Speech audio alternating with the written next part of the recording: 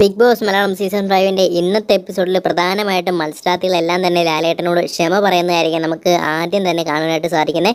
എന്തായാലും ഇവിടെ വിഷുവിന്റെ ആഘോഷങ്ങളും കാര്യങ്ങളെല്ലാം തന്നെ ഇവിടെ കാണിക്കുന്നുണ്ട്. ഇപ്പോൾ ഒരു പ്രൊമോ ഏഷ്യാനെറ്റ് പുറത്തു വിട്ടിട്ടുണ്ട്. അതോടൊപ്പം തന്നെ ലാലേട്ടനോട് ഇപ്പം ലാലേട്ടന് വേണ്ടിയും നമ്മുടെ പ്രേക്ഷകർക്ക് വേണ്ടി തന്നെ ഇവിടെ മത്സരാർത്ഥികൾ ഇവിടെ ഓരോ സോങ് ഒക്കെ പാടുന്നുണ്ട്. അതോടൊപ്പം തന്നെ റിനോഷിനെ വിളിച്ചിരുത്തി കുറച്ച് കാര്യങ്ങളും ചോദിക്കുന്നുണ്ട്. അതായത് പാട്ടൊക്കെ ഇതിനെപ്പറ്റി എന്തായാലും പാട്ട് പാടാമെന്ന് ചോദിക്കുന്നുണ്ട്. അതോടൊപ്പം തന്നെ റെനീഷയോട് വീടിനെ പറ്റി വീടിന്റെ മതിലൊക്കെ ഉണ്ടോയെന്ന് അങ്ങനെ എന്തോ ചോദിക്കുന്നുണ്ട്. പിന്നീട് ഏഞ്ചലിനെ പിടിക്കുന്നുണ്ട്. ഏഞ്ചലിനോട് കുറച്ച് വിശേഷങ്ങളും കാര്യങ്ങളെല്ലാം തന്നെ തിരക്കുന്നുണ്ട്. അതോടൊപ്പം തന്നെ ഇവിടെ വിഷ്ണുവും നമ്മുടെ മിഥുനും ഇവിടെ ലാലേട്ടനോട് ക്ഷമ പറയുന്നതൊക്കെ നമുക്കിവിടെ കാണാനായിട്ട് സാധിക്കുന്നതാണ്.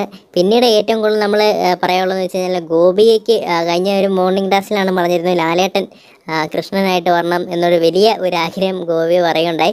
എന്നും ആ ഒരു പ്രൊമോയിൽ കാണിച്ചിട്ടുണ്ട് അത്. അപ്പോൾ ശ്രുതിയൊക്കെ ആണെങ്കിലും പറയുന്നത് കേട്ടായിരുന്നു. നല്ല ആഗ്രഹം എന്നൊക്കെ പറയുന്നത് കേട്ടായിരുന്നു. എന്തായാലും ഗോപിക ആ ഒരു ആഗ്രഹം വിട്ടിട്ടില്ല. ഇപ്പോഴും ചോദിക്കുന്നുണ്ട് എന്തായാലും ലാലേട്ടന്റെ ആ ഒരു മറുപടി എന്തായിരിക്കും എന്നുള്ള കാര്യം നമ്മൾ കണ്ടറിയേണ്ടത് തന്നെയാണ്.